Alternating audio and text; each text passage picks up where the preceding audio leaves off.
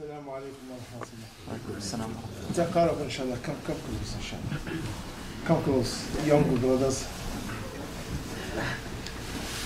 بسم الله الرحمن الرحيم الحمد لله والصلاة والسلام على رسول الله First of all uh, uh, Happy New Year even though it's a Roman uh, year because this is time it's not haram uh, Happy Christmas is wrong Happy New Year is like you say uh, have a nice uh, weekend or uh, good afternoon.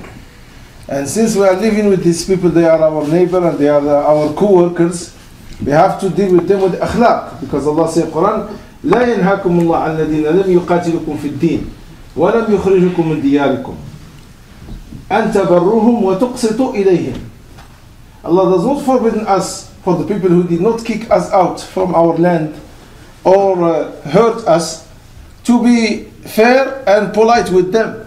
Wallahu yuhibbul muqsitin.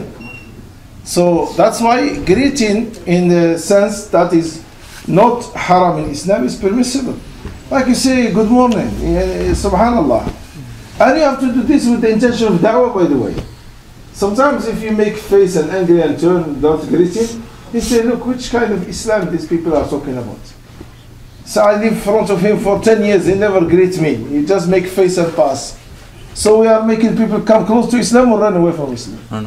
Run away from Islam, yeah.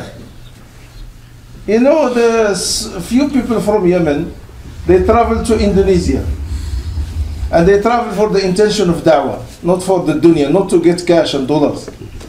And they used to do the same business. They import by boat the whatever merch- merchandise they got from Yemen and they sell it there.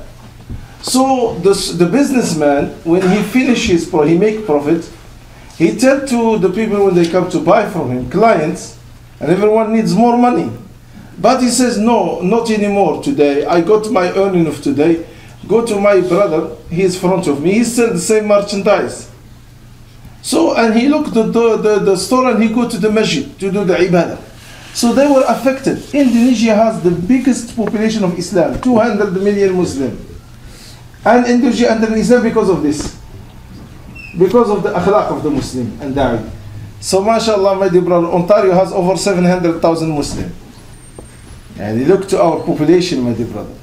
That's why you have to use da'wah. Da'wah is important. Allah yafqna. Alhamdulillah, wassalatu wassalam ala rasulullah. Today, because it's the new year, I'm going to talk about the time. Al-waqt. The time, my dear brothers, is so important. And it's one of the biggest ni'mah Allah gives us. Yani the biggest ni'mah that Allah gives us is the time. And many people, they don't, they are not aware about this. They are not aware. Sometimes you see brothers on their vacation or weekend, they say, let's go kill the time. Let's do whatever, just do something, come. And, uh, and my dear brothers, one scholar, he says, when you say this word, killing the time, you are killing yourself. Because killing the time, it means the time has no value in your eyes. It's worthless. You just want to kill it. You just want it to pass. You just wake up in the morning. Some people they love the night. When they wake up in the morning, they say, again it's sunrise, and he just wait the night so he can stay nights awake. So this time that you are killing is your your your Jannah, is your capital, is everything. The time is everything. What is the proof of that the time is everything? If someone lived 80 years of, of shirk, and in one day, when he gets old, he meets a Muslim or he read about Islam or he read the saying of the Prophet ﷺ, and he wanted to accept Islam and he come to the masjid and he accepted Islam at Dhuhr Salat. And he take a bath, he say the Shahada, Muslims say Takbir, he pray Salat at Dhuhr, he went home, he died. Inshallah, we don't, uh, this is only example, he will go to Jannah. So the time, the time out of his life is the time that he accepts Islam from Dhuhr till Asr. Because of that time that he use it properly with Iman and little Amal, Allah will grant him Jannah. Look how valuable the time is. It means someone who just make tawbah accept Iman and died, Allah will grant him Jannah. Because Rasulullah when he visited that uh, son of the Jewish and he'd say, tell him, say La ilaha in the deathbed, he said Rasulullah was happy. And he says, Alhamdulillah, الذي أنقذه بي من النار. Alhamdulillah that Allah saved him because of me from Jahannam. So, saving from Jahannam, what does it mean? He went to Jannah. How much time it was between him and Jahannam forever? How much time? That moment, that moment when Rasulullah came to visit him. If, for example, I'm just giving an example, Rasulullah never came and that boy died, what will be his end? Hell, may Allah save us. So Allah subhanahu wa ta'ala, Rasulullah said that Alhamdulillah Allah save him because of me from, from Jahannam. So the time is your destination. The time is your destination. And that's why, my dear brother, in the Quran, Allah subhanahu wa ta'ala swear, majority of the swear, Allah swear by the sky, swear by the earth, swear by the door, swear by many things.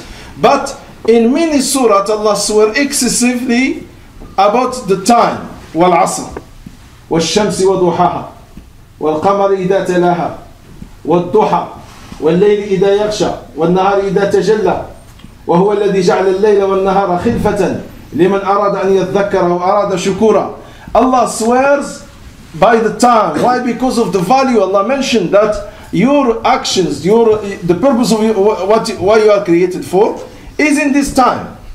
If you waste it, you lose your time, you lose your life. The people in the grave, the people in the day of judgment, and the people when they are burned in Jahannam, what is their wish? Allah give us this news in the Quran. Yani in the grave what they say?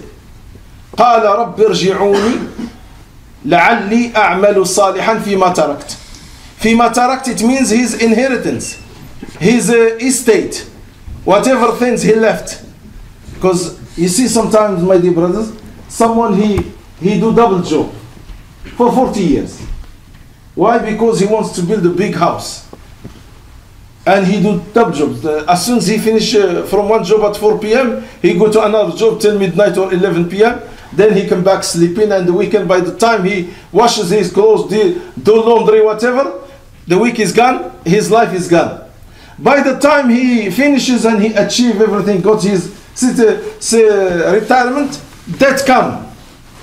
What did he did with his time? What did he did? He wasted. Why? Because all the money that he gathered, he did not enjoy it. He built all this work, he built all this money, this fortune for others.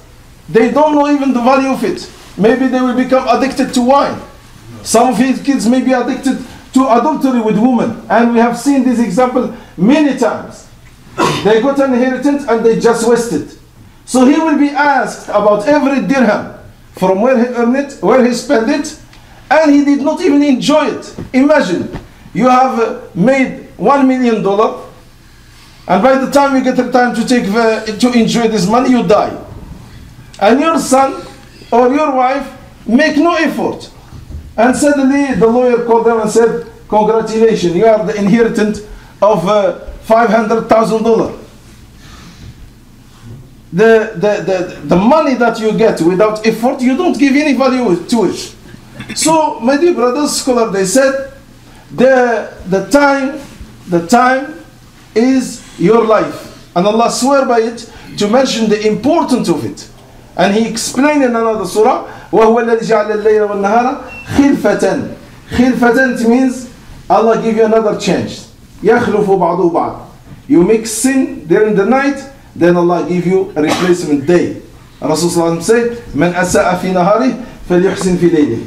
ومن أساء في ليله فليحسن في نهاره الله سبحانه وتعالى the hadith الرسول صلى الله عليه وسلم الحديث إن الله يبسط يده بالليل ليتوب مسيء النهار ويبسط يده بالنهار ليتوب مسيء الليل حتى تطلع الشمس من مغربها الله أكبر Allah subhanahu wa spread his hand hand means the rahmah the mercy so the man who make the sin during the night so he can do tawbah during the day or the person who make the sin during the day he may be made tawbah during the night till the sunrise. So Allah is giving us this chance. Every one of us now has his soul, he's healthy. It's a ni'mah. Because my dear brothers, you can do something that a man who is crippled or blind or is in intensive care now, he does not have the ability to do it. He does not have the ability to do it. You can do it. But we don't do it because we are sometimes careless, lazy, busy with something not important. Like a person who is doing two jobs. Why you are doing to do two jobs? Why? Why you have to do two jobs? If some people has an exception, if he is married with more than wife, but uh, here we don't have, yani, you may say that. But for some people, you can't. As soon as you get what you need, you devote yourself to the purpose why you are created for. This is the right understanding of Muslim. No Muslim, they don't think like that. Muslim, as soon as you get what you need, you devote whatever spare time to what Allah created you for. And Abdullah ibn Mas'ud mentioned this time. He says, إني لأكره الرجل أن أراه سبهللا لا في عمل الدنيا ولا في عمل الآخرة. I hate to see young healthy men having nothing to do. No amal of the dunya, no amal of the akhirah. Nothing. Yani you have to do something. Rasulullah look subhanAllah, the importance of Amal in Islam. Rasulullah say, if someone has fasila, you know fasila is uh, the small plant with the soil. They sell it. You put it and you cover it with the the soil and it grows. That's called fasila, the roots of a, of any plant that you want to grow. Rasulullah talk about a farmer now for his land or in the, in the towns. He says لو أن أحدكم بيده فسيلة. If someone has a fasila in his hand and the day of judgment start, how you know the day of judgment start or not? How you know? How I'm asking you. The blow of the trumpet, the blow of Israfil is the start of the day of judgment. This blow is so big, so huge, but the first blow is a faza, just scared. Second blow is the death. Can you imagine a voice that will make you dead? Second blow is the, the death. So the first blow is nafkhatul faza. Everybody will be scared and people will be running. So Rasulullah mentioned that if someone has fasila in his hand and he hear the day of judgment start, he should try to plant this fasila. Why? Because my dear brothers, the dunya of the Muslim, the Muslim who understand, not the Muslim who mix up. The dunya of Muslim is deen. The dunya of Muslim is deen If he do the correct way as Allah told him, while he earned for his family, eight hours of the job is a ibadah. If he has correct intention. So this planting of this fasila, it will benefit who? It will not grow. It's a day of judgment. Allah said in Quran that He will uh, crash the whole system. We will go to another world. We will be shifting. إذا الشمس كورت وإذا النجوم انكدرت Yani Allah will, will crush the whole system. But why Allah, Rasulullah is telling you have to plant it even if you have death judgment? Because Rasulullah is Rahim, he says you will get the reward because of your intention. Because of the intention, if you plant this and you have the intention that this fruit, whosoever come to eat from it, I make intention that it will be waqf for Allah. Even Allah will give you the reward even if there is no fruit. For any bird or any human being, that you will get the reward for it. So my dear brothers, the time is so important. Time is responsibility. My time, your time, everybody's time. Yani Allah subhanahu wa ta'ala give us a, a period. That's called period of uh, rahmah, grace. Yani when you're born, till the age of puberty. Age of puberty for the woman, maybe 12, maybe 11, maybe 13. Age for the boys, maybe 14, 15, 16. So the night when the person get the age of puberty, two angels come down. Raqib and Atid. Before he doesn't have angels. He have no records. That person is blank. That period of time is blank. Allah subhanahu wa ta'ala does not look at it. And Allah subhanahu wa ta'ala does not record any good or bad deeds. The moment that he get the puberty, he has a record. But of course, when he start to good deeds, ulama they said Allah record for him. But the record, the true record for Hisab, is when he reached the al-bulugh, the age of puberty. So the time when you get to the age of puberty till the death is the time when Allah will ask you in Qiyamah. يقول الرسول صلى الله عليه وسلم لا تزول قدم عبد تزول it means move to another stage we are when we raise from the dead we go to do qiyamah what is qiyamah qiyamah is the land Rasulullah said, Bayda, kaqussitari, like the flower, white flower. It has no hill, it has no uh, uphill or downhill, it's straight. The last person can see the first one. And every human being, from the time of Adam till the day of judgment, billions of people, they will be standing in one position. and every one of them Allah will ask him four questions لن تزول قدم عبد حتى يسأل عن أربعة عن عمره فيما أفناه his life where he spent it where he spent all his life عن شبابه فيما أبلاه where he spent his youth look half of the question is the time life and the youth is what time Allah will ask you about your life and Allah will ask you about your youth وعن علمه ماذا عمل فيه and his knowledge how he act upon his knowledge. And the last one uh, his money from where he earned it and where he spent it. Now this is my dear brother scary because even if you earn halal but you spend it in a wrong way you will be also under punishment. Because earning halal is not enough. You have to learn how to spend exactly how you learn how to earn. So Allah will ask us this question your life, where you spend. So the life, my dear brother, is a ni'mah. And Allah give it to you as a responsibility to use it. Use it what? Use it for what Allah created you for. What Allah created for is a ibadah. To, to, to follow Rasulullah sallallahu And some people think the ibadah is the salat. So from the Dhuhr till the maghrib, or from Fajr till Dhuhr, he doesn't do anything.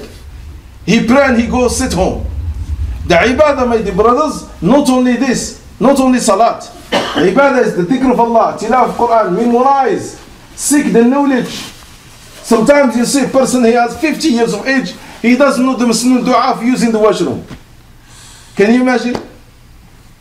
So this is a waste of time waste of life.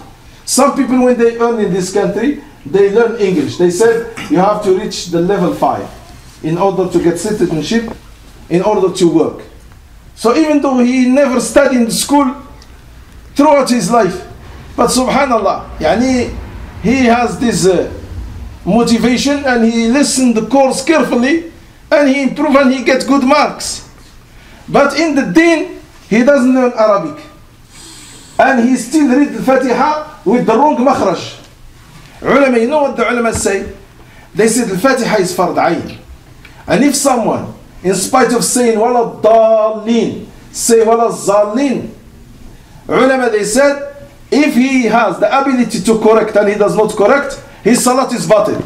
Why? Because the makhraj of the letter is fard.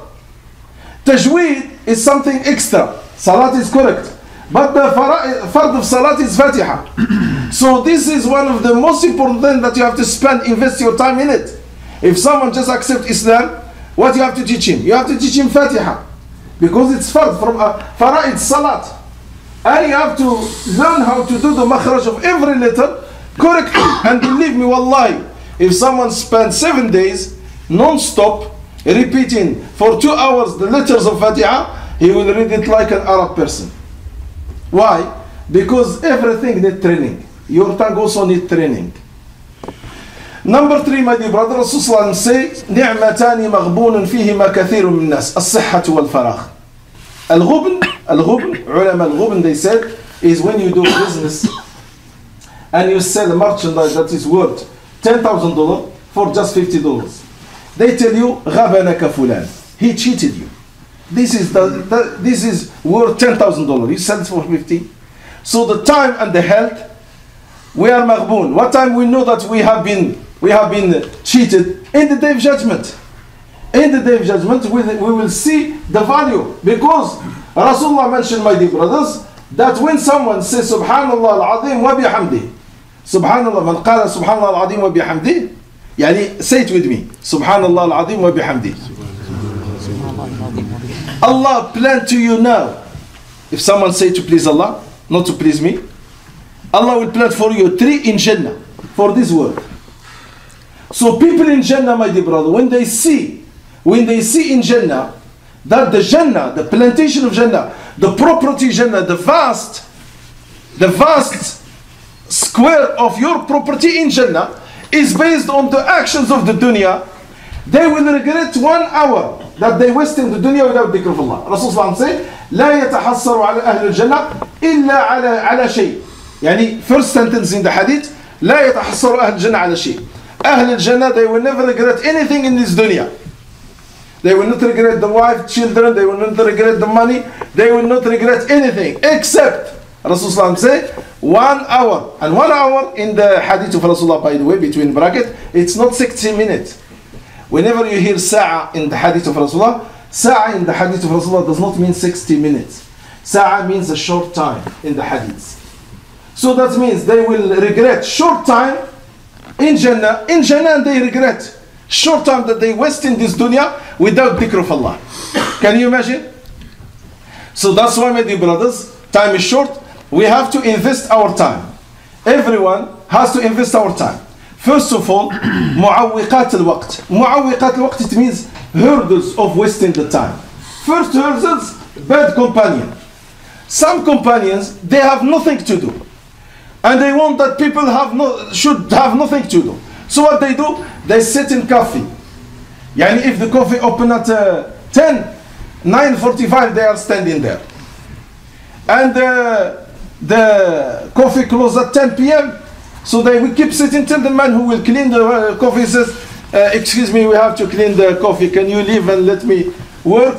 But luckily here in this country, they add a sign, please, no more than 20 minutes. Even though some people ignore that and they leave it. So, wasting time. Yani what you will do with the person that will not benefit you in the deen nor in the dunya. What you will do with his companion? Please tell me, brothers. What you will do with someone that in the deen he will not help you. In the dunya he will not help you. What you will do with him? Stay alone. Read the book, read Quran, read the book. Do sport. At least when you do sport and you go jogging, you are uh, benefiting to make your body strong so you can be healthy. You can do qiyam al you can fast, you can uh, uh, earn and get this money used for your family, relatives, whatever.